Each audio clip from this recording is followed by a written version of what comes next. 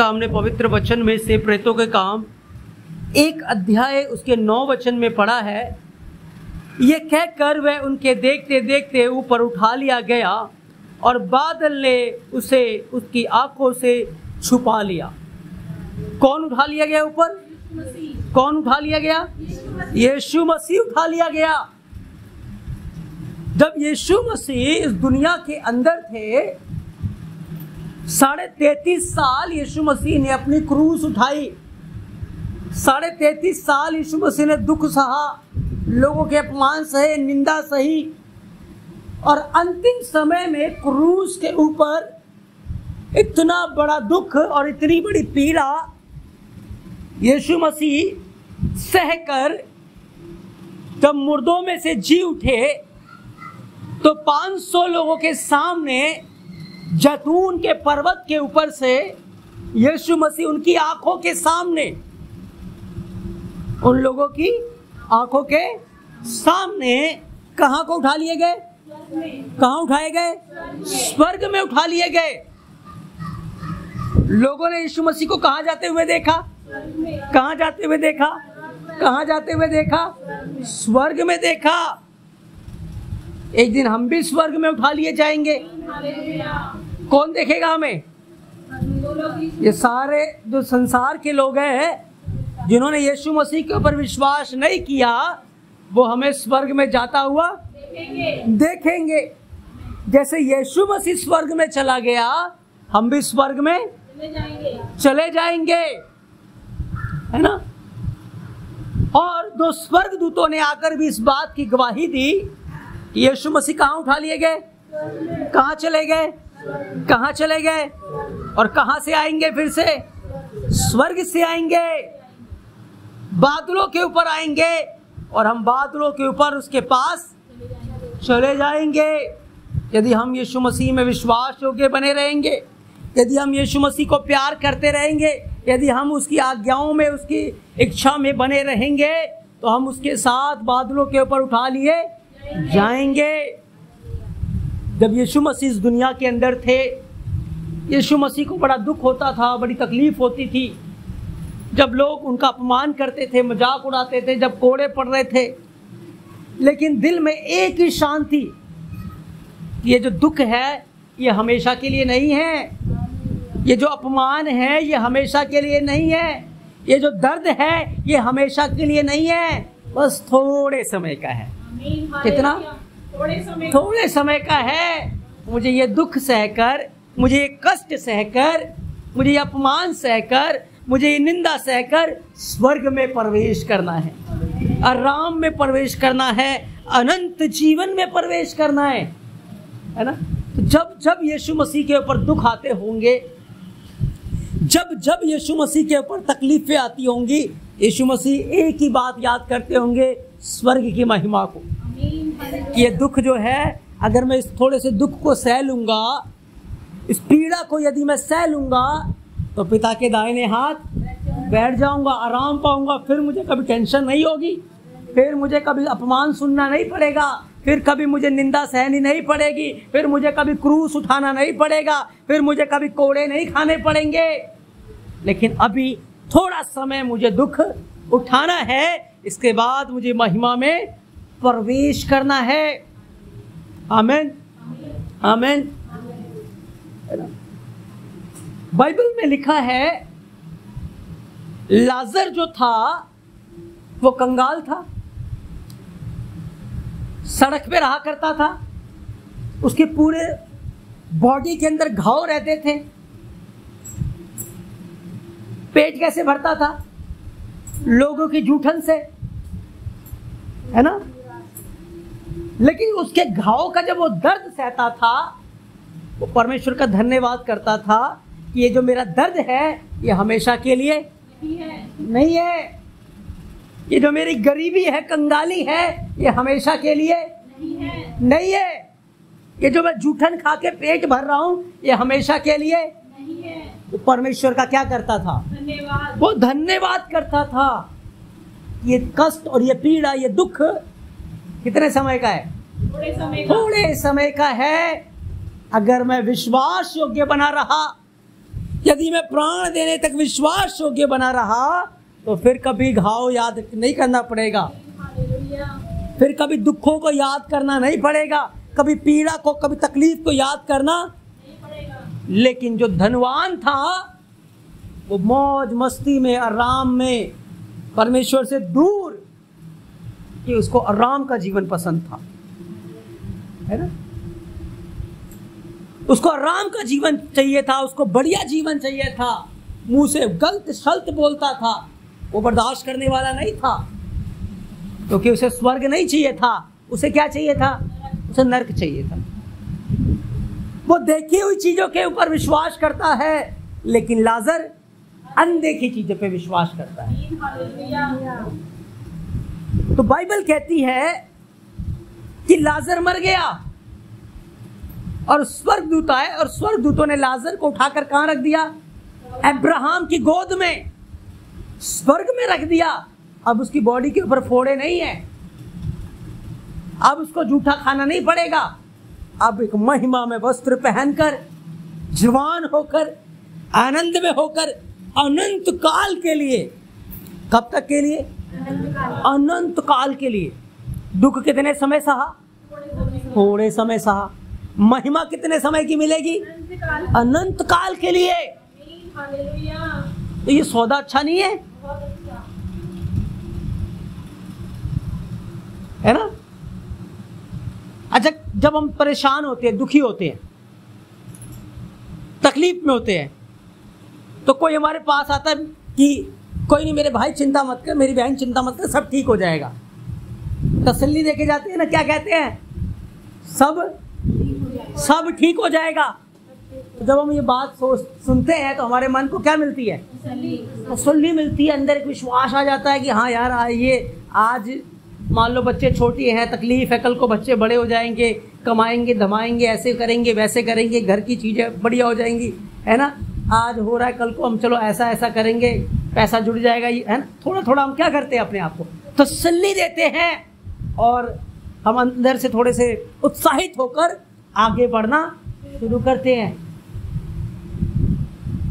समझ आया? क्योंकि जब इंसान ये सोच लेगा कि अब कुछ नहीं हो सकता तब वो अपने जीवन का क्या कर देता है? अंत कर देता है। है ना? तो लाजर को पता था मेरा जो दुख है, वो हमेशा के लिए नहीं है। धनी को भी पता था मेरा सुख हमेशा के लिए नहीं है। लेकिन कभी भी उसने अनंत जीवन के लिए परिश्रम नहीं किया। लेकिन लाजर ने अनंत जीवन के लिए परिश्रम किया। यीशु मसीह ने अनंत जीवन के लिए परिश्रम किया। है ना? दुख उठाया, अपमान सहा पीड़ा सही, कष्ट सहा, और परमेश्वर के साथ प्राण देने तक विश्वास योग्य बना रहा, है ना? तो बाइबल कहती, लाजर अब्राहम की गोद में पहुँचाया गया। और धनी कहाँ पहुँचाया गया? नर्क की आग में, जहाँ उसकी जीव जल रही थी, जहाँ वह तड़प रहा था, जहाँ वह मर रहा था, और उसकी तड़प और पीड़ा कब के लिए है? अनंत काल के लिए, लेकिन लाजर का राम अनंत काल यीशु मसीह ने पृथ्वी के ऊपर कितने समय दुख सहा? साढ़े तैतीस साल। क्रूज के ऊपर का दुख कितने देर का था? है ना? थोड़े समय का था, दस घंटे का दुख था। लेकिन महिमा अनंत काल के लिए हमारे पास भी थोड़े थोड़े दुख आ सकते हैं, तकलीफें आ सकती हैं, परिस्थितियाँ आ सकती हैं। वहाँ हम अपने आप का इनकार करना है, अपने आप को मारना है। अन्याय करना नहीं है, अन्याय सह लेना है, क्योंकि हमारा दुख जो है, कितने समय का? बस सोच लेना, कोई नहीं, अभी कर लो तुम्हारा राज्य है है ना? अभी कर लो अपनी मनमानी, एक दिन हमारा राज्य भी आएगा, है ना? यीशु मसीह ने पिलातुस को कहा, मेरा राज्य इस धरती का हाँ मेरा राज्य स्वर्ग का है। तो हमारा राज्य यहाँ का नहीं है। एक दिन हमारा राज्य भी आएगा, फिर हम अपने बाप की महिमा में चमकेंगे, उसकी नगरी में चमकेंगे, है ना?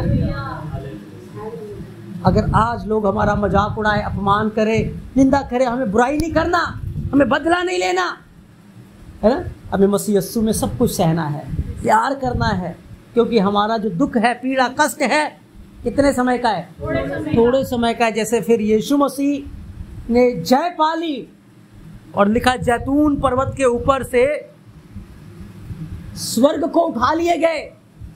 एक दिन तुरी की आवाज़ आएगी और हम भी कहा उठा लिए जाएँगे? स्वर्ग में उठा लिए जाएँगे। उस महिमा में रहेंगे। फिर हम अपने दुख को कभी याद नहीं करेंगे। फिर कभी सिर में दर्द नहीं होगा, कभी हेडक नहीं होगी, कभी टेंशन नहीं होगी, कभी बुखार नहीं होगा, कभी जुकाम नहीं होगा, कोई कष्ट नहीं होगा, कोई पीड़ा नहीं होगी, कोई कुछ कहने वाला नहीं होगा। है ना? अनंत काल के लिए कहाँ रहेंगे? कहाँ रहेंगे? स्वर्ग में रहेंगे, पिता की गोद में रहेंगे, पिता की महिमा में रहेंगे। तो अच्छा नहीं है कि आज हम थोड़ा सा दुख उठा ले। थोड़ी सी गरीबी को सहले थोड़ी सी अपमान को सहले थोड़ी सी निंदा को सहले थोड़ी से दुख को सहले बाकी कल को अनंत जीवन का मुकुट पाए। लेकिन आज अगर हम थोड़े से दुख को सहने के लिए इनकार करके मसीह के खिलाफ पाप करेंगे, गुनाह करेंगे तो फिर अनंत जीवन को खो देंगे। है ना? इसीलिए जब जब आपके ऊपर दुख आए, बीमारी आए, कष्ट आए, तकलीफ़ आए, क्या याद करना है? हमारा दुख हमेशा के लिए पर स्वर्ग हमेशा के लिए है। दुख थोड़े समय का है, स्वर्ग अनंत समय का है, अनंत काल के लिए है। अपमान थोड़े समय का है, लेकिन महिमा अनंत काल के लिए है, हमेशा के लिए है। है ना? इसीलिए बाइबल में लिखा है, इब्रानिया बारह अध्याय पहले वचन के अंदर उसने क्रूस की लज्जा को सह लिया। उसकी आँखें कहाँ लगी थी? पिता की दाहिनी ओर। प्रतिफल की ओर, उस महिमा की ओर उसकी आँखें लगी थी। कोई बात नहीं, आज थोड़ा सा दुख है ना? जब मैं स्वर्ग में बैठूँगा, स्वर्गदूत मेरी सेवा कर रहे होंगे। सब कुछ मेरे अधीन किया जाएगा। वो महिमा, वो आदर के आगे, जो आज हमारे लिए दुख है, कलेश है, वो कुछ भी नहीं है। हमें हँसते हँसते मसीह के लिए सहना है और हमें जीवन का मुकुट प्राप्त कर लेना है। हमने कहा ना, हम मिलेंगे बादलों पर। देखेगा, सारा जहान देखेगा। हम उस आदर, महिमा, इज़्ज़त के साथ स्वर्ग में उठाए जाएँगे। और परमेश्वर हमारी इज़्ज़त करेगा। परमेश्वर हमें आदर देगा। परमेश्वर हमें ऊपर उठाएगा।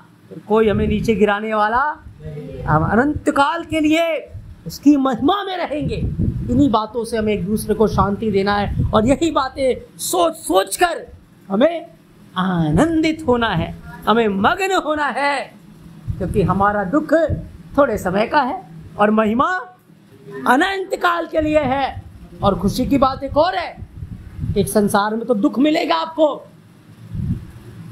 कष्ट मिलेगा आपको, लेकिन उस समय यदि आप यीशु मसीह के पास आओगे, प्रार्थना करने लगोगे, वचन पढ़ने लगोगे और आराधना करने लगोगे, संगति में आओगे, स्वर्गीय आनंद मिल जाएगा, स्वर्गीय शांति मिल जाएगी, स्वर्गीय सुकून मिल जाएगा। क्योंकि तो यीशु मसीह ने क्या कहा था? संसार में तो तुम्हें कलेश है। पर ढांढस बांधो तो मुझमें शांति पाओगे। तो हमें यीशु मसीह में शांति हर समय मौजूद है हमारे लिए। हर समय उसका आनंद हमारे लिए मौजूद है। बस हमें उस चीज़ों को भुलाकर यीशु मसीह के पास आना है। आमेन?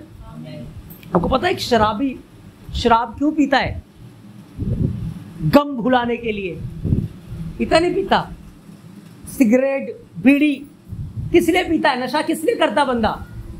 कि जो टेंशन है ना, उसको कम कर सके। है ना?